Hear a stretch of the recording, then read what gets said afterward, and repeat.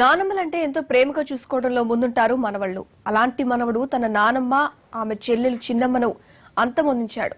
ఇంతకీ దీనికి కారణాలేంటి? వికారాబాద్ జిల్లా పూడూరు మండలం చస్ గోముల్ గ్రామం. స్థానికంగా నివసించే నానమ్మ మనవడు మధ్య చిన్న వివాదం కాస్త రెండు హత్యలకు దారితీసింది. శివకుమార్ తప్పతాగి ఇష్టమొచ్చినట్టు ప్రవర్తించేవాడు. ఎప్పుడు చూసినా తాగుడే తాగుడు. ఇతడి ఆగడాలు తట్టుకోలేకపోయేది శివకుమార్ నానమ్మ బుచ్చమ్మ. ఆ తాగుడు మహమ్మారి నుంచి బయటపడమని ఎంత మొత్తుకున్నా వినేవాడే కాదు. దీంతో ఇతడితో రోజు గొడవలే. నానమ్మ పోరు పడలేక శివకుమార్ ఆమె అంతానికి సిద్ధమయ్యాడు. మంగళవారం తెల్లవారుజామున నానమ్మ బుచ్చమ్మను కొడవలితో నరికి చంపేశాడు.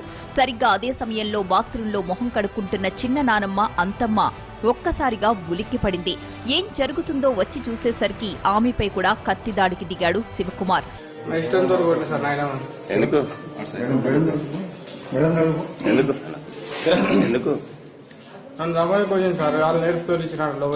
ఇది గమనించిన కుటుంబ సభ్యులు శివకుమార్ను చితకొట్టి పోలీసులకు అప్పగించారు.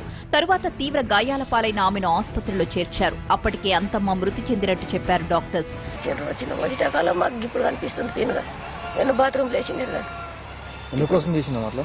మాకు ఏ తెలియదు సార్ ఇంకా చెప్తేనే తెలియాలి అందరూ అంటున్నారు పిచ్చి లేచింది గిట్ల నెట పడ్డాడు అలా సొంత మెంటలే ఆయన మూడు రోజులు సార్ చాకు పట్టుకునే తిరుగుతున్నాడు ఎందుకోసం అమ్మా ఎందుకోసమో ఏమో సార్ మెంటల్ అయ్యండి అని అన్నారు వాళ్ళ ఇంటి వాళ్ళు దీంతో శివకుమార్ ఇద్దరు నానమ్మలను చంపిన కిరాతక మనవడిగా ఈ చుట్టుపక్కల ప్రాంతాల్లో పేరు సాధించాడు.